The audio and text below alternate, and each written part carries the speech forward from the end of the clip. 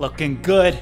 Lots going on out here. Uh, but I want today I want to talk about like out of all the aquariums that we're bringing to this aquarium gallery, what's going to be the most difficult to move and the most to consider, and what am I going to do about it?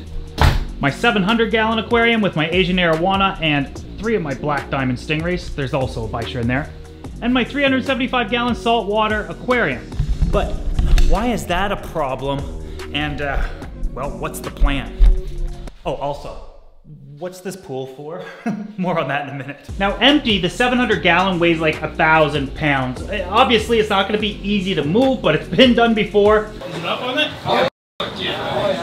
Alright, let's start with Danny Long, Danny Longlegs out of Once again, I'm just gonna need a small army to help me. Now the 375 gallon is also a hard tank to move, but technically I built it and put it on its original standalone, and I have no clue how I was able to do that, because man, this thing's heavy. It's gonna need at least four people. Which reminds me, I'm probably going to ask for help moving that big tank here eventually. I know many of you guys showed up to help me move it in the first place, and a lot of you guys enjoyed being a part of that. So if you're not following me on Instagram, make sure you do because I'll most likely ask on there for help and I'll send I'll put a date, all that stuff. Anyways, back to the actual topic. Now, if you were to ask me what's the perfect size tank for an Asian arowana, well, when you're keeping these big fish, a lot of the times it comes down to the length as well as the width of the tank.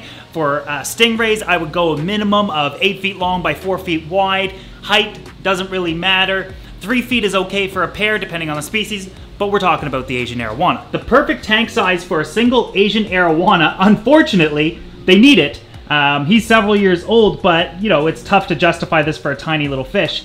However, he needs a tank that's at least 8 feet long, 3 feet front to back, and 2 feet tall. You needy little bugger but I do have a tank with those dimensions. The 375 gallon has those dimensions because if you remember, I specifically built this for stingrays and Asian arowana. Which is why I said I was separating them in the first place. The rays are going to get their own tank and so is the arowana. However, if you remember, I want the rays to act a lot more normal and be, uh, you know, a little more comfortable in the tank. Stingrays have the uh, habit of swimming up the sides of the tank. Mine don't because the arowana won't allow him. I'd also like to get them into um, breeding and, you know, just doing a lot better and being more like rays. And I think the only way we're going to do that is to move this guy. What that means is once that 375 gallon is empty, I could move it into place, get it completely set up and running, and then I could move the Asian arowana from the 700 gallon and have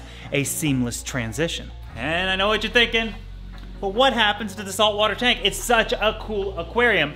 The new aquarium gallery has to have salt. So what I'm thinking is splitting the tank up into either a pair of 180 gallon tanks or like a 180 gallon tank and a couple of 120s.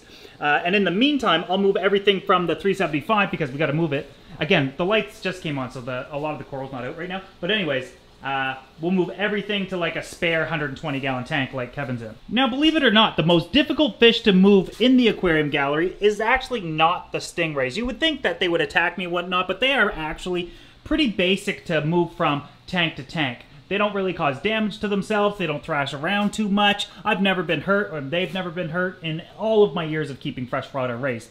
The single most difficult fish to move in the aquarium gallery, oh, we gotta go back, is the Asian arowana. I bet you thought it was going to be the piranhas or something. This guy is two feet long. He's incredibly powerful. He's not only going to potentially hurt me, which I'm honestly not worried about. If he hurts me, it's I deserved it.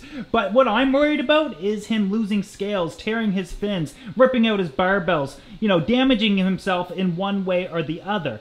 And that is incredibly common with Asian arowana when you attempt to move them. I mean, they're already constantly jumping and hurting themselves.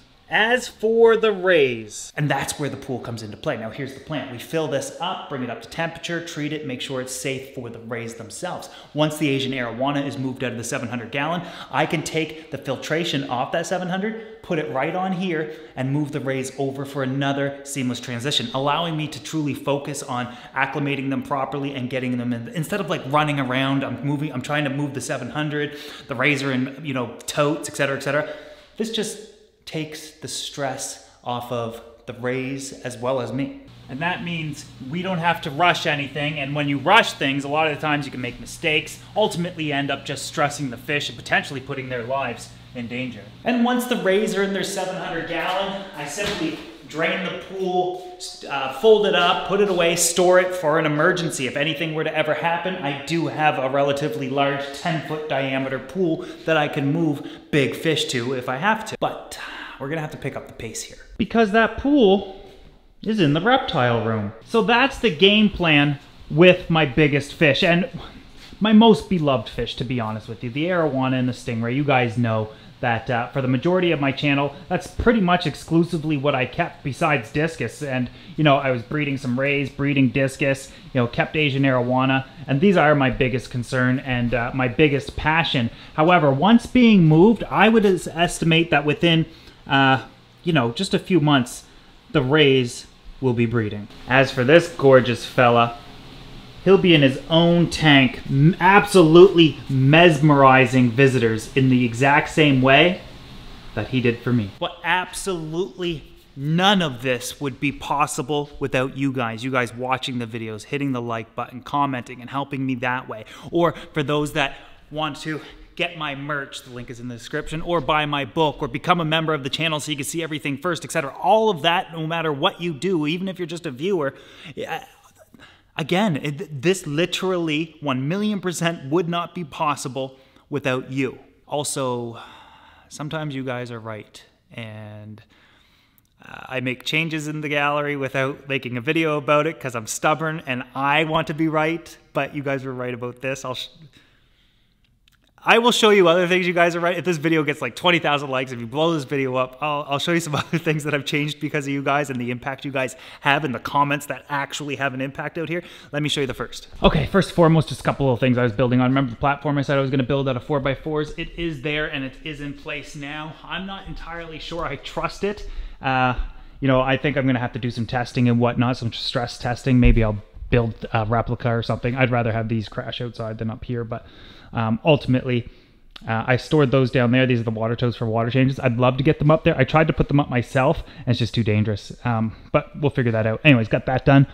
Something else that you might notice, I'll just give it a second, see if you guys say anything or notice anything. With the first aquariums that you walk in. Oh, this one's here now. Ow.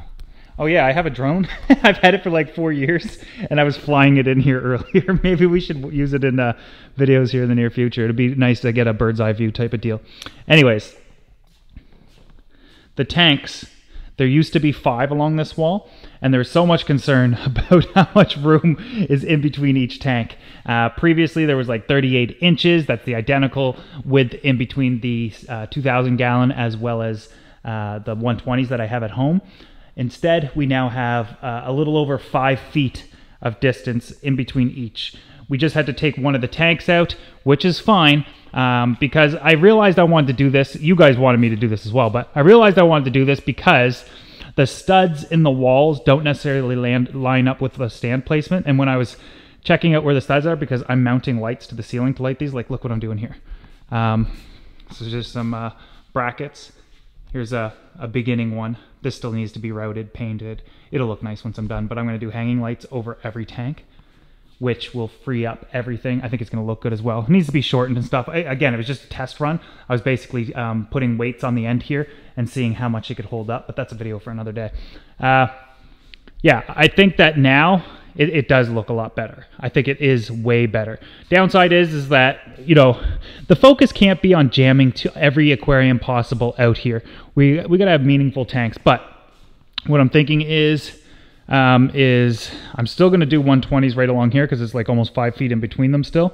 And then maybe a 120 in the, or I'm sorry, 180s. These are 180 gallons. Then 180 gallon in the center and 120s on either side. Make them all salt water. But yeah, everything's coming together a little slowly. Lots of things upstairs are happening. Um, and, uh, yeah, I got to get moving though. I got to move a lot faster, get a lot more done. You know, maybe I get these the rest of the stands built this uh, this week, but we'll see how everything progresses.